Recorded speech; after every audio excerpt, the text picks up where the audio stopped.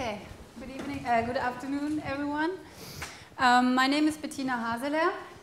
I'm a PhD student at the University of Hohenheim in Stuttgart.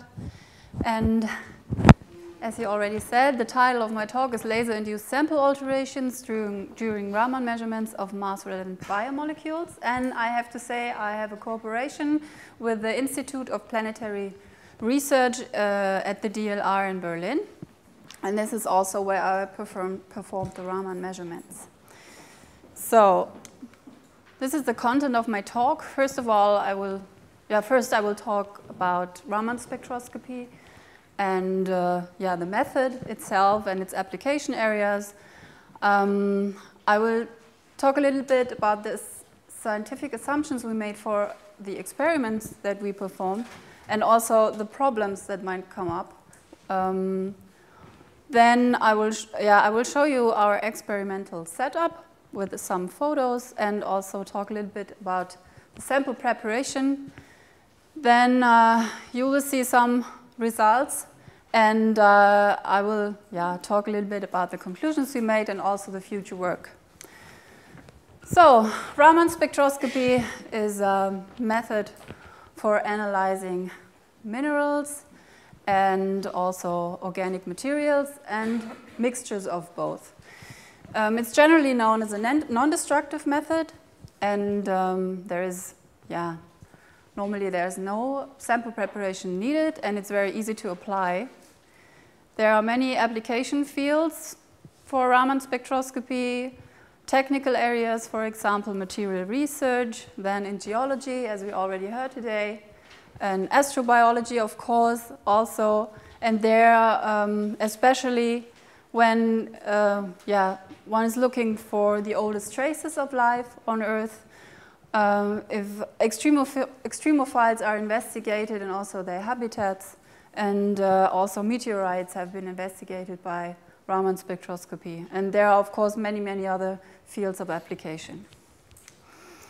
In the future, Mars, um, yeah, Raman spectroscopy will be applied on Mars. Um, we heard of the ExoMars mission today, and uh, yeah, it will also be, maybe it will also be applied when missions come yeah, go to other planets or to other bodies in the solar system.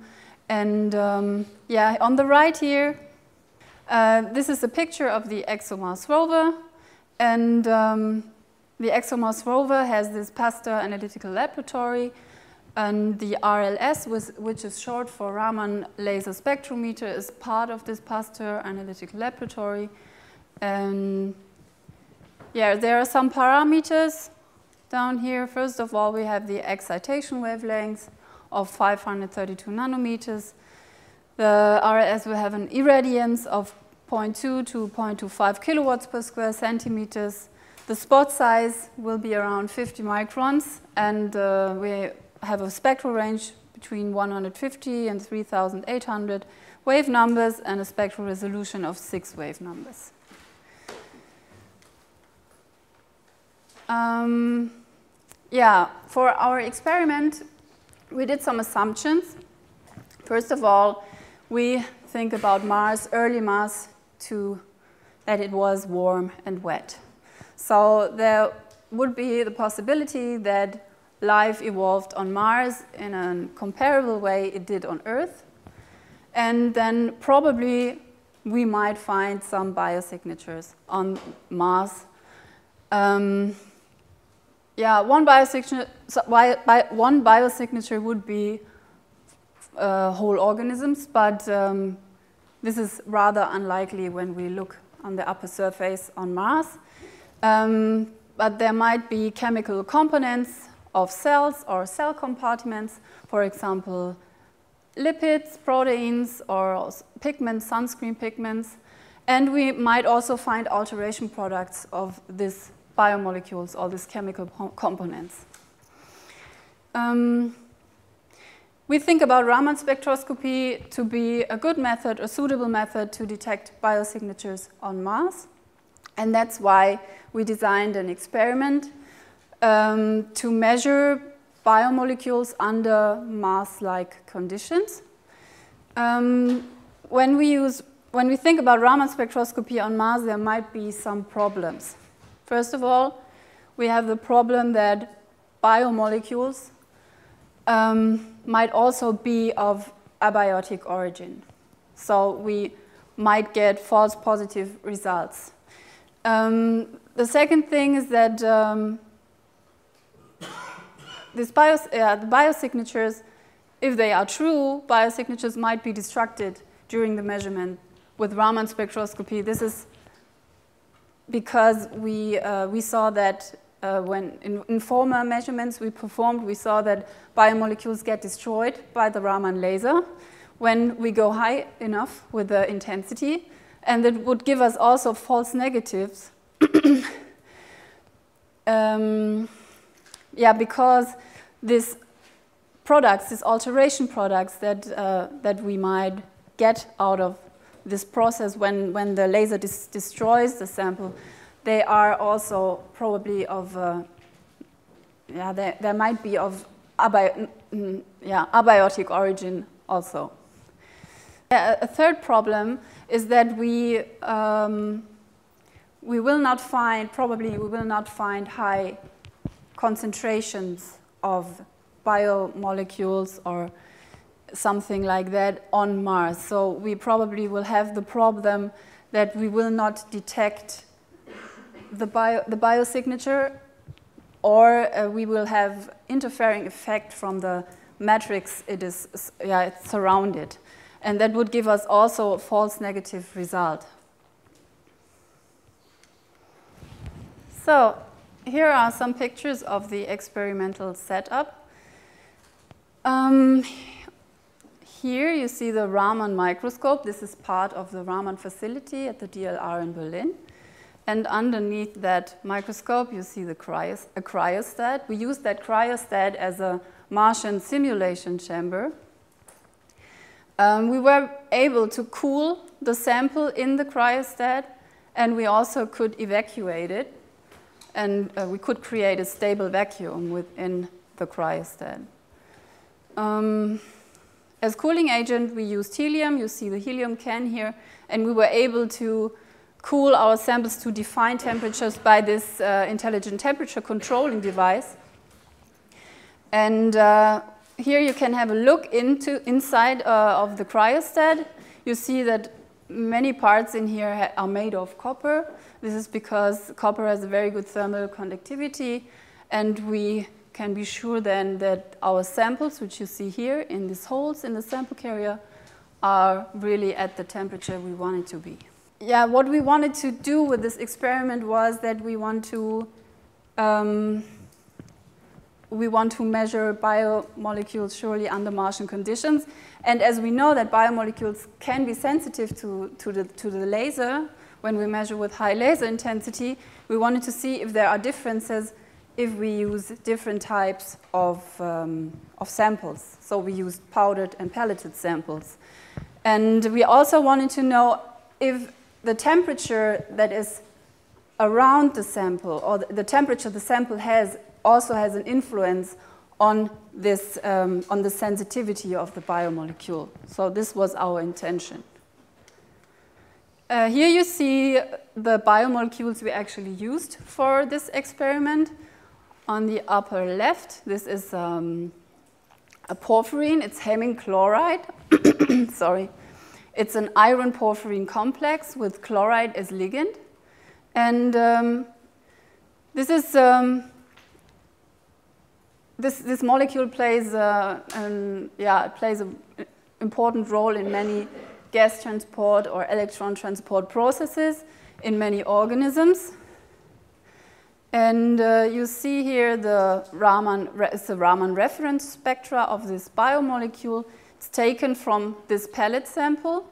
And these pelleted samples are um, made of a, a, sodium chloride pellet. We produced a pellet of sodium chloride. And the biomolecule powders were applied on top of that pellet and were pre pressed. So it's quite compact.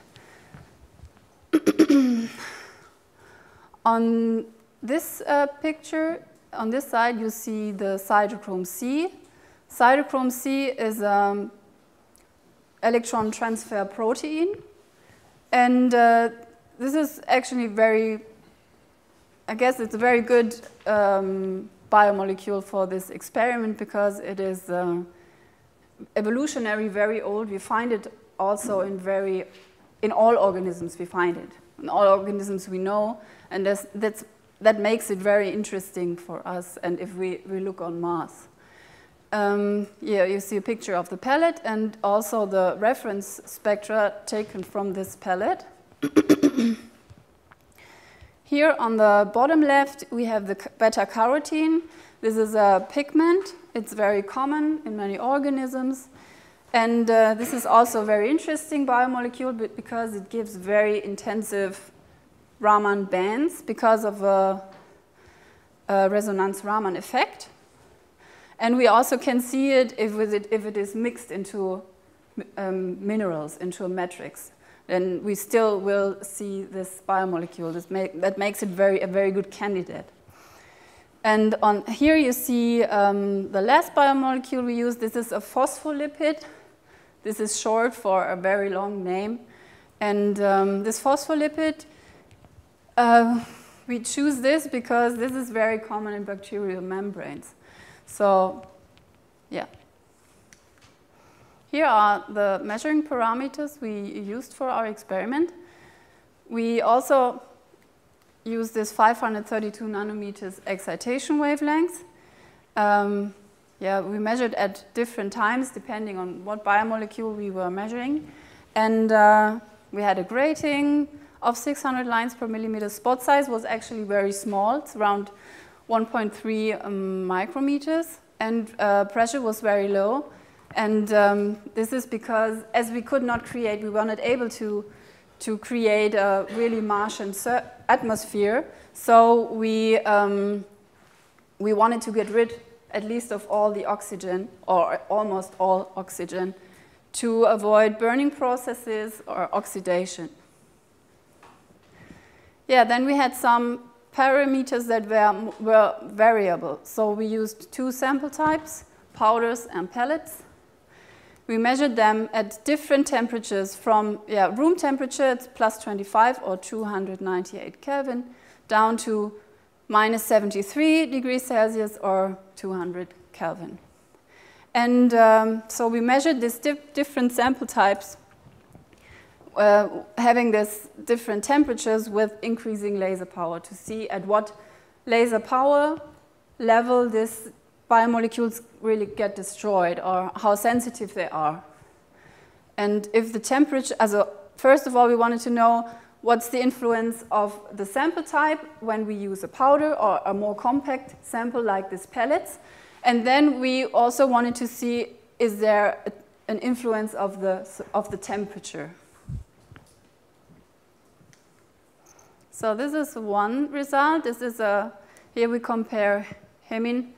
I, I, I just show you hemine today because, yeah, it's, I don't have uh, much time. So we just stay with hemine. And here we see the hemine powders. This is the, um, the Raman spectra of hemine powders measured from 0.2 milliwatts up to 7 milliwatts. And uh, on the right, we see the hemine pellet, or pellet pressed on that sodium chloride pellet, also measured from here 0.3 up to uh, 2.5 milliwatts. And what you can see here, when we measure powder, we have a change in the spectra um, at 0.4 milliwatts. And when we measure powders, this is, um, is not constant, this value. So sometimes we also find destruction of the, of the sample at even lower laser powers or sometimes at higher. So it's not predictable when this biomolecule gets destroyed when we measure a powdered sample. But when we measure a pellet, um, this, this sign, this first sign, this is this lift here. As you see here, it's, it's lifted up the spectra. Um, appears when we measure pellet at 1 milliwatts. So, and this is uh, quite constant for pellets and for hemine. Um, yeah, even when we repeated this measurement, we, all, we always got um, this first sign of destruction at 1 milliwatts. And now we also wanted to, to know if the temperature has an influence. So we measured this hemine pelleted sample at here 298K and at 200K. And when you, you, will have a look on the right, we also find this um, first sign of destruction here at 1 milliwatts. And um, when we go, yeah, when you have a look on the right now, we are at 200 Kelvin. Um, there is just a slight change in that. So at, at this, in this case, we have uh, the destruction or the start of the destruction at, at 1.5 milliwatts. And uh, this is not a really big difference. So we cannot really say that, that this is, uh, that temperature, this temperature really has an effect. But maybe if we go lower with the temperature, maybe then it will be, yeah, it will be more, um, the, the effect will be bigger. So this is maybe something we can do in the future. Yeah, just um, what I can say now uh, is that when we measure powdered samples, uh, the laser power range where the sample is destroyed is very broad. So it's not very predictable to, to yeah, it's not predictable to say um, when the biomolecule gets destroyed at what laser power. But when we use a pellet, um, this range is actually smaller, and uh, the sample also can be measured with higher laser intensity. Uh, this might be an, yeah, this might be better when we go on Mars to, to know um, that pellet samples might be the better sample type in this case.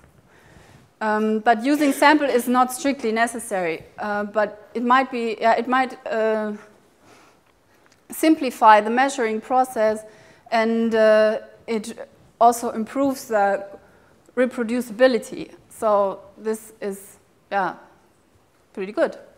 And the, the second thing is the ambient temperature, which has actually no effect when we measure powder samples. We don't see an effect there. Um, and when we measure pellets, there is hardly, uh, there is a small effect, but it's mm, hardly significant. So we, um, yeah, we might do more measurements in this direction. So in the future,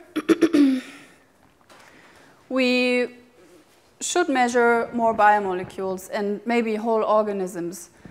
Um, we also should mix them, of course, with um, metrics with Mars relevant mineral matrices like uh, clay minerals.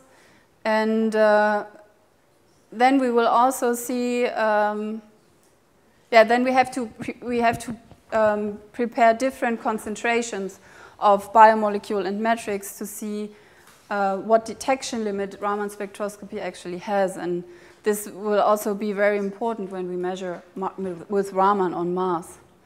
So all these experiments together might help to optimize the Raman measuring, pro measuring protocol and helps to gain out the best possible results of this method.